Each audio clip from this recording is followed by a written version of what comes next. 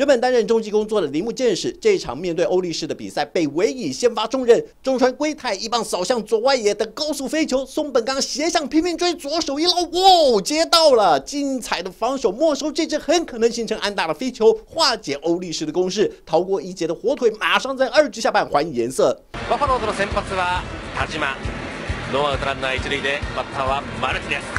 哦吼，这帮咬个正着！See you later！两分打点全垒打，全场球迷欢声雷动，先吃得点，而且火腿的攻势串联的非常顺畅。下个半局，监督新庄刚志下达打跑战术，奈良兼大吉有效执行，把球扫到右边落地安打，形成一三垒有人的情况。紧接着，万波阵中不让垒上的队友苦等，三垒边线车步边的安打球卡在球童区的座椅，让欧力士的防守球员花了好长时间才拿到球，两分打点的。三连安打，火腿把比数扩大到四比零。但是欧力士毕竟是上个赛季的日本总冠军，阵中的重炮部队一点也不好惹。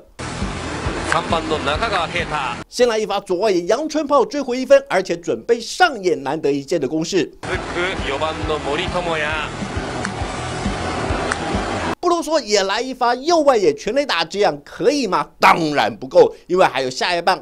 占据杨连全垒打王的山本裕太郎，哦，托打在甜蜜点上，很远很远出去了。欧力士单局三连炮，back to back to back，把火腿队的中继投手枯瑞辉打到无语问苍天。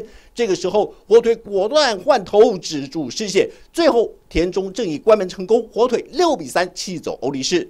镜头再转到软银对乐天的比赛，软银先发投手是已经四十三岁的老将何天意。尽管已经征战职棒二十年，但是球威不减，第一局就飙出了两次三振，果然宝刀未老。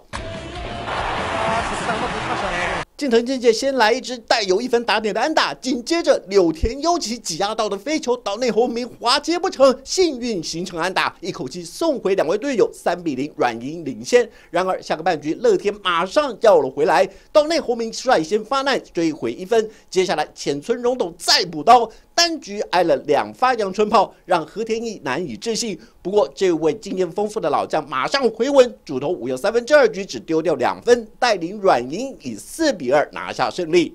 最后一场比赛是西武对千叶罗德，前两局双方各有斩获，一比一的僵局持续到七局下半。罗德串联的攻势奋战一三垒，佐藤都志也非常巧妙的打在右边内野滚地球，来得及吗？队友都比出安全上垒的手势，但是裁判说 out。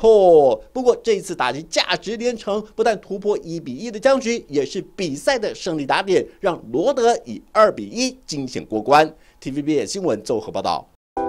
想看最完整的新闻内容，记得下载 TVBS 新闻网 APP。